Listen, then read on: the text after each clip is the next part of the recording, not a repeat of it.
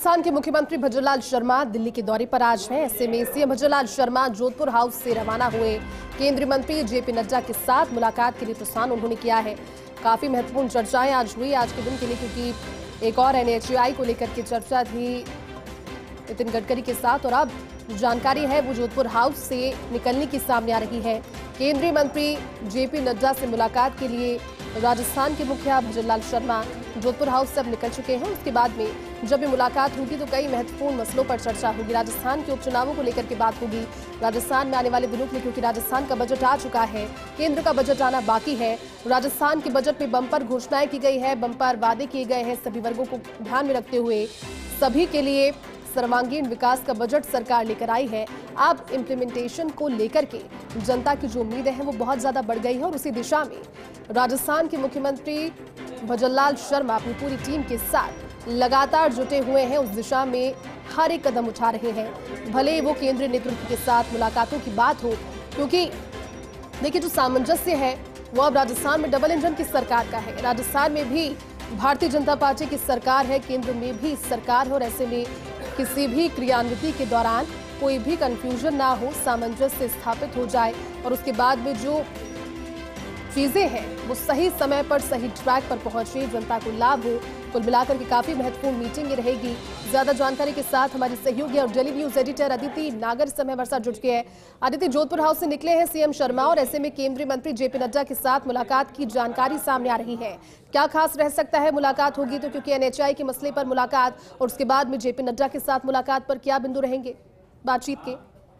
देखिए, अभी तक तो एनएचआई और सड़क परियोजना, सड़क मार्ग को लेकर उनकी नितिन गडकरी से लंबी मुलाकात हुई। जी। लेकिन अब जो मुलाकात है वो और भी महत्वपूर्ण है। चाहे फिर आप उसको संगठन के लिहाज से समझिए देखिए सबसे पहले आपको अपडेट दे देंगे जोधपुर हाउस से मुख्यमंत्री रवाना हो चुके हैं और वो जेपी नड्डा से मिलने भारतीय जनता पार्टी कार्यालय पहुँचने वाले हैं। हम्म हम्म। छह बजे का उनका समय है। और लगभग आधे घंटे का उनको समय दिया है मुलाकात का संभवतः वो उसके बाद एयरपोर्ट भी रवाना हो सकते हैं अगर किसी और तरह का कोई कार्यक्रम आगे नहीं बढ़ता तो। हम्म, हम्म। अब देखिए सबसे महत्वपूर्ण बात यह है कि ये मुलाकात क्यों इम्पोर्टेंट है?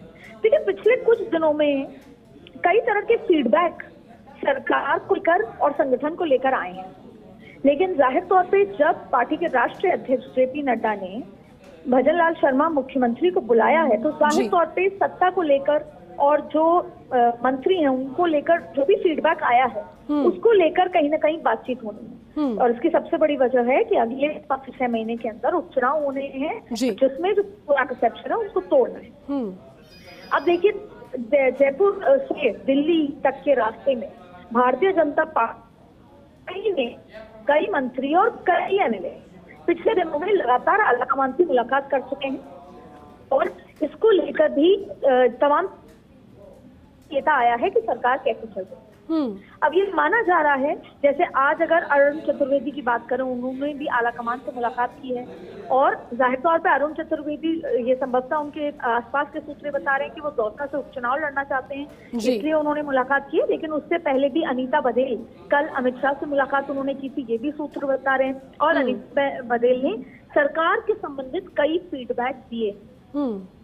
तो ज़ाहिर तौर पे जब मंत्री विधायक नेता से फीडबैक आ रहे हैं और कहीं ना कहीं संगठन में भी कोई बदलाव करने की जो लगातार चर्चाएँ भी हैं तो ऐसे में ये जो राष्ट्र राष्ट्रीय अध्यक्ष से जो मुख्यमंत्री की मुलाकात है इन तमाम मायनों को लेकर है। तो एक बार फिर समझते हैं पहला जो फीडबैक लगातार भाजपा के नेता दे रहे हैं उस पर चर्चा। दूसरा उपचुनाव को लेकर जो अभी कार्यकारिणी भी हुई और उन तमाम चीज़ों को लेकर आगे क्या गतिविधि? या किस किस को बुलाना है बड़े नेताओं को कोई लोकार्पण कराने हैं।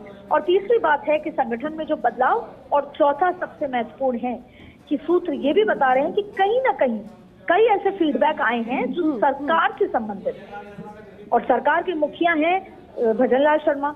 तो आज जेपी नड्डा कुछ फीडबैक दे सकते हैं हम्म। और किस तरीके से आगे बढ़ना है उसको लेकर भी मुख्यमंत्री से बातचीत कर सकते हैं।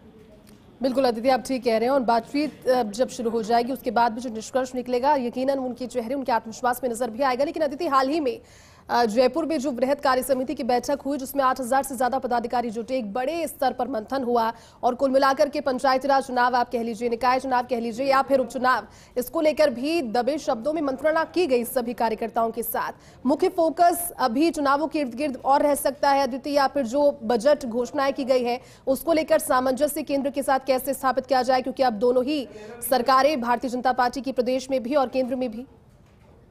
देखिए जयती मैं एक बार फिर ये कहना चाहती हूँ कि ये जो मुलाकात है इसको बहुत संजीदा तरीके से इसलिए लेना चाहिए। हम्म। क्योंकि बहुत सारे विधायक मंत्री और नेता भाजपा के आला कमान से मिलकर राजस्थान के जो कार्य प्रणाली को कह लें या सरकार के कार्य को लेकर बहुत फीडबैक दे रहे हैं। जी। और उसी फीडबैक पर मुख्यमंत्री को बुलाया गया है और मुख्यमंत्री पर से बातचीत होगी ऐसा सूत्र बता रहे हैं। हम्म। तो ज़ाहिर तौर पे सरकार अगर अगले छह महीने बहुत अच्छे से चलेगी तो ही उनका जो जो छाप है वो नतीजों में नज़र आएगी। जी। तो ये सब कुछ जुड़ा हुआ मुद्दा है कि कैसे और ये भी माना जा रहा है कि प्रदेश अध्यक्ष या संगठन में कुछ बदलाव हो सकते हैं। तो ऐसे में उसको लेकर भी बातचीत हो रही है। हम्म। इसके साथ साथ चुनाव की तैयारी संगठन में कमर कसना बड़े केंद्र नेता का लोकार्पण या नींव रखने के लिए बुलाना और उससे बड़ी बात है कि मंत्री जितने भी हैं उनके साथ में मुख्यमंत्री का सामंजस्य। हम्म हम्म। क्योंकि सूत्र ये बता रहे हैं कि जितने भी मंत्री हैं उनमें से कुछ मंत्री आलाकमान के पास आकर कुछ ऐसा फीडबैक दे चुके हैं जिसको अब ठीक करने की आवश्यकता है हम्म। और जिसके लिए आज जेपी नड्डा और मुख्यमंत्री मुलाकात कर रहे हैं। ठीक है अदिति शुक्रिया आपका इस पूरी बातचीत के लिए।